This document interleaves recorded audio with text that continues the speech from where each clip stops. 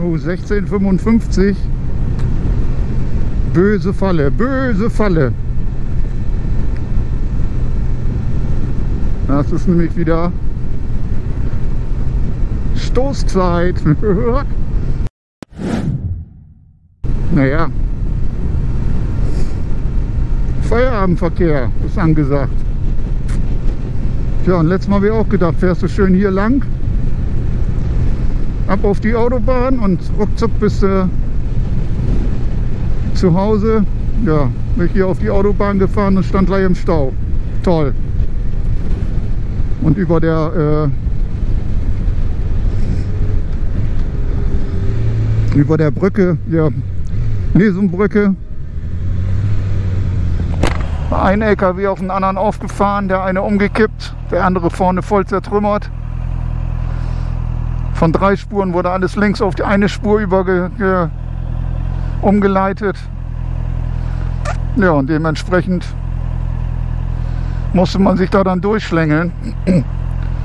Habe ich dann natürlich rechts vorbei gemacht, obwohl standen rechts auch Polizisten. Ich durfte mich nicht erwischen lassen, dass ich mich da vorbeischlängel. Darfst du heute nicht mehr. Wenn du durch die Rettungsgasse fährst,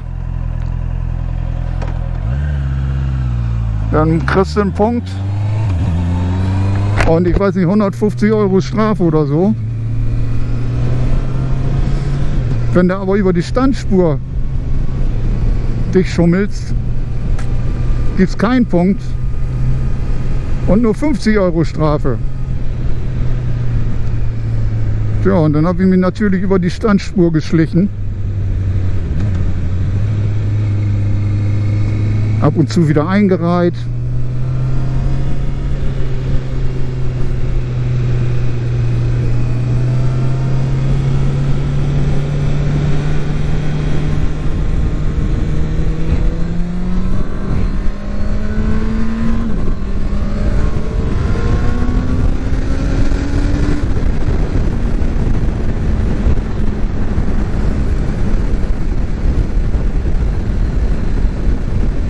Zu wieder eingereiht.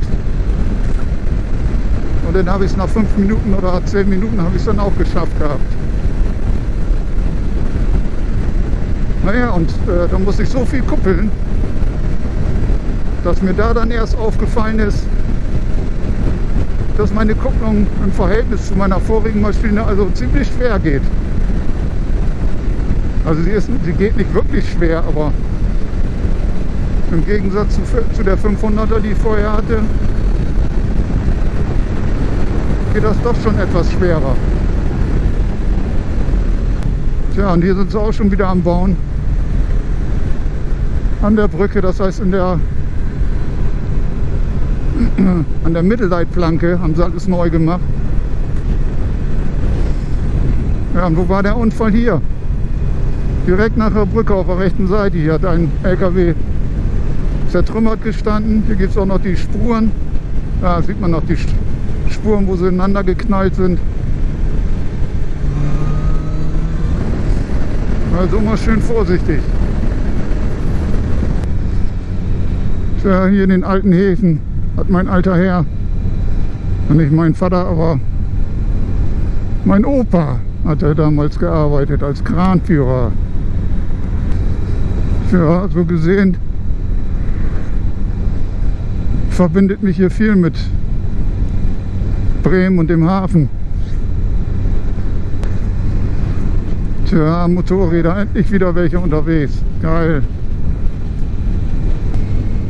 Tja, der alte Übungsraum. Tja. Musik mache ich nun gar nicht mehr. In meinem Leben geht es nur noch um Biken, Biken, Biken. Motorrad, Motorrad, Motorrad. Früher drehte sich bei mir alles um Musik. Musik machen, dreimal die Woche proben mindestens. Neue Lieder schreiben, Auftritte klar machen. Wohl Auftritte hatte ich so viele gar nicht. Aber schöne Lieder haben wir gemacht. Ja, wenn man dann den Lenker loslässt. Absoluter gerader Auslauf, geil. Ja, guckt euch das an. Absoluter gerader Auslauf. Das war noch nicht mal so schön bei meiner 500er. Die zog immer nach einer Seite so ein bisschen. Ich glaube, das lag aber an dem Auspuff. Wenn du auf einer Seite irgendwie zwei, drei Kilo mehr hast. Aber hier habe ich ja den Underfloor-Auspuff. Da zieht nichts nach rechts oder nach links. Das zieht nach unten. so. Haben wir eine 100 Kilometer Runde hinter uns.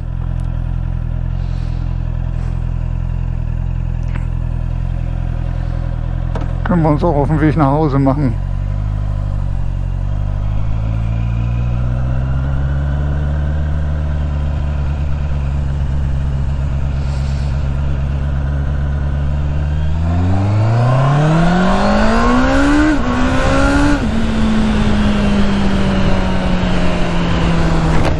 Ja.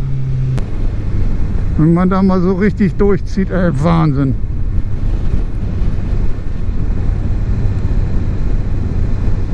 Das Gefühl der Beschleunigung ist absolut geil. Und dann noch dieser Sound dazu. Unbezahlbar. Unbezahlbar. Na, was wird das jetzt?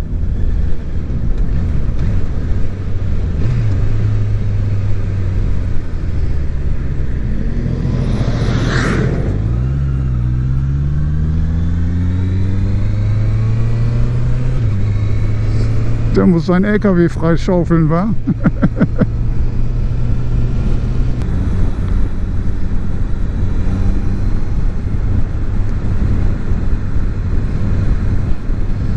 Toter Winkel, jetzt ein bisschen Gas geben. Dann sieht sie mich und zieht nicht rüber.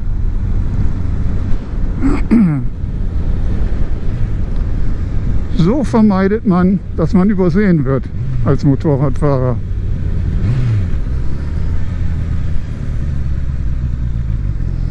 Eigentlich ganz einfach.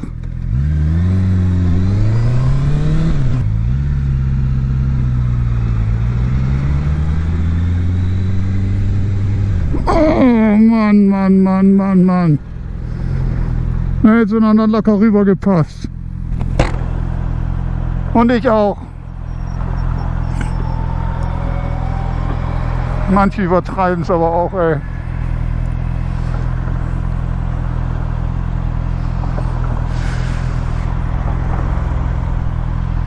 Manche übertreiben es aber auch echt.